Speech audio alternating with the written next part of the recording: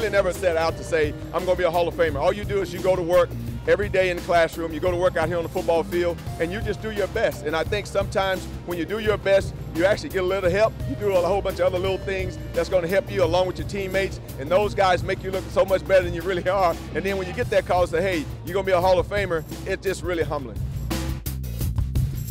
They talk a lot about the Bo Jackson play, and you know that play there, I had overran Bo Jackson, made a mistake, and I knew that couldn't nobody else go catch him but me. I was back there, so I, I got a chance to do that, and he happened to break his collarbone on that play. He was going to win the Heisman Trophy. He won it the next year, and then even against SMU and Eric Dickerson, them those guys were, you know, they were top of their game, and we had to be at the top of ours. And you know, when to go down to Dallas and beat SMU down there, that's huge. Got a chance to play against, you know, other teams like Arkansas. You know, I remember my freshman year, we lost to them 42 to 11, and then you know what? That was the worst feeling you ever want to see see, but we never lost to them again. You know, and there are certain teams that we've never lost to when we was in the Southwest Conference. So we, we want to say, you know what, we're the standard of football.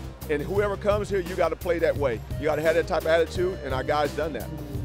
But, you know, when you're in high school, you probably, I think I played it in front of about maybe the most 5,000. Then when I got here, it was about 70. And it says, you know what, don't look in the stands because you're probably fainting. It's probably going to be like that now. You got 100,000 fans out. They're looking at you and saying, you know what, the guy made a Hall of Fame. And really, you just did your job. That's really what I, will tell them. You just did your job. If you do the job the best of your ability, you get lucky enough, you might make Hall of Fame.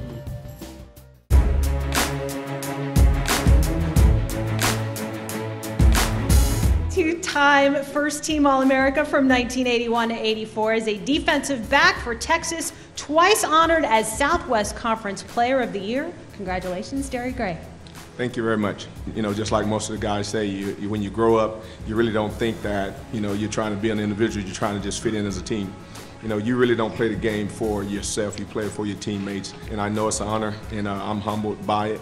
And I want to thank those guys for, you know, being, letting me be a part of that team we didn't have the awards when I, when I was playing. You know, we didn't have the Jim Thorpe and anything like that. So you just played and you went out. If you made All American, you made All American. Other than that, that's all you had. So this is my first experience. So this is absolutely amazing to me.